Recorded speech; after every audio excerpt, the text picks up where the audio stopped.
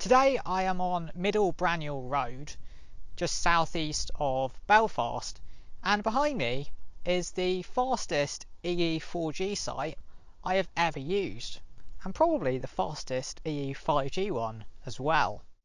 In fact, it is not hard to achieve over 890 megabits per second on 4G off this site and 970 megabits per second on 5G.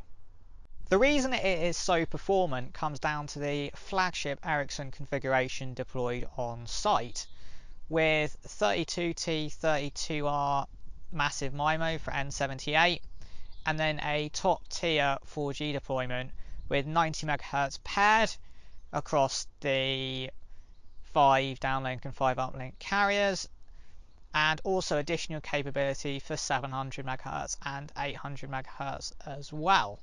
So here is a typical carrier list view and you can see we've got 1617, 20 MHz downlink, primary band 3 carrier, then 3350 which is primary band 7 carrier, 20 MHz downlink, 3179 secondary band 7 carrier, 15 MHz downlink, and then 522 band 1 um, 4G carrier, 15 MHz downlink, and then finally we have 1815 which is a secondary band 3 1800 MHz carrier with 20 MHz downlink as well.